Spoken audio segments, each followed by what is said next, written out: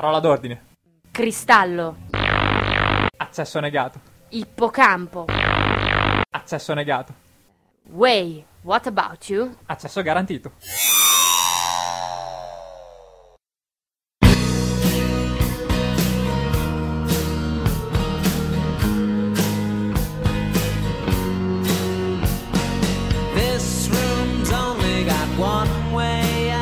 Benvenuti a una puntata speciale su Glogos Web Radio. Oggi siamo a Sasso Marconi per intervistare Manuel Mesoraca, detto Meso, uno degli educatori del centro di aggregazione giovanile Casa Papinski. Nel corso dell'intervista scopriremo perché il centro si chiama così, le attività che offre e eh, vi daremo un'anticipazione delle novità di quest'anno. Cominciamo chiedendo a Manuel quando nasce il centro e l'origine del nome. Il centro giovanile Casa Lapinski è stato aperto nel settembre del 2002. Il nome è stato mh, trovato tramite un, un, concorso che è stato fatto presso l'Istituto Comprensivo di Sasso Marconi. Ufficiosamente possiamo dire che eh, un ragazzo che ho conosciuto mh, qualche anno fa mi ha detto che il nome l'ha, l'ha scritto lui, insomma ha partecipato a questo concorso, il nome l'ha dato lui e secondo quello che mi ha detto lui però io non posso confermare perché non sono poliglotta, eh, Papinski significa cretino in, in polacco. Quali sono le attività che si svolgono e a chi sono rivolte? Allora, le attività sono rivolte diciamo, a tutti, chiaramente non c'è una, una chiusura, una, diciamo dal, dai ragazzi di 11 anni fino ai 25-25 anni, diciamo che noi prendiamo tutti.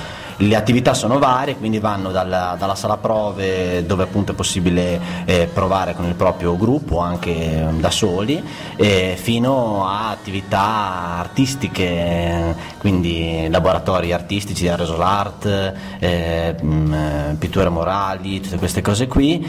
Ricordiamo inoltre l'attività ormai che ci rende famosi in, tutto, in tutta la provincia del video contest, quindi eh, laboratori video. E la, la web radio che presto si vedrà impegnati con una redazione diciamo periferica de, di Radio Blogos. Ci sono delle collaborazioni con le scuole?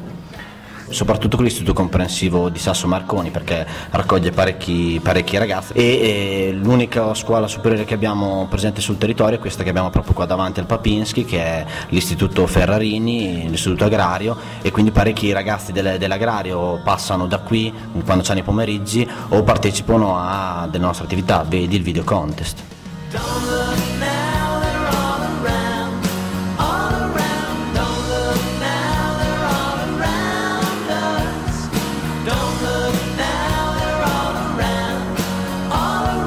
Quali sono le vostre novità per quest'anno di attività al centro giovanile? Le novità sono parecchie, cioè, oltre ai corsi che ormai appunto, ci sono già da tanti anni, tipo il video contest e quelle cose lì, eh, abbiamo, cioè, abbiamo, avremo la, l'intenzione di, di, fare un corso di parkour perché vediamo che è una cosa sempre più richiesta e poi vabbè le classiche ormai vabbè, ho già detto laboratori video, eh, il Ceneforum, la web radio e um, il Kalcinski che ormai ci vede da tanti anni ormai impegnati e um, un'altra novità è il laboratorio di DJ set che non siamo riusciti mai a farlo partire quest'anno visto che ci sono tanti ragazzi che si interessano di musica elettronica e così, quindi speriamo di fare anche il laboratorio di DJ set. Parlaci un po' della tua esperienza di educatore al Papinski, da quanto tempo ci lavori e quali sono i progetti per il tuo futuro, perché ti piace fare l'educatore qua? Io lavoro al Papinski Super Giù dal 2003 eh, prima ero un, cioè, un, ragazzo che veniva qua a suonare e, poi dopo insomma, mi sono interessato di educazione, mi sono iscritto all'università, prima o poi la finirò, quindi diciamo che sì, dal 2003 che, che bazzico qua dentro, mi appassiona, mi piace stare in mezzo ai giovani, quindi questo è un lavoro che ti dà la possibilità di stare insieme ai ragazzi e... Ehm, ti dà anche, secondo me, anche molte soddisfazioni. Progetti futuri sono tanti, sia qua al Papinski ma anche in altri settori dove lavoro. Si faccia una domanda e si risponda da solo. ma i sogni aiutano a vivere? Oh. La vita è un sogno, per me la vita è un sogno. Grazie. Ecco perché dovete venire al Papinski, perché c'è Manuel.